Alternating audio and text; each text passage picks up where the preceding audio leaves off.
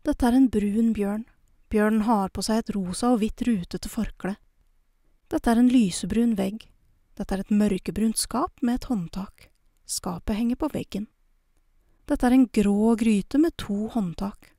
Dette er lokket til gryta. Lokket har også et håndtak. Dette er en øse. Bjørnen holder øsa i den ene hånda og lokket i den andre hånda. Dette er en hvit benk. Dette er suppe. Suppa er i gryta, og gryta står på benken. Dette er en kniv. Dette er et skjærebrett. Kniven ligger på skjærebrettet, og skjærebrettet ligger på benken. Dette er en rød tomat.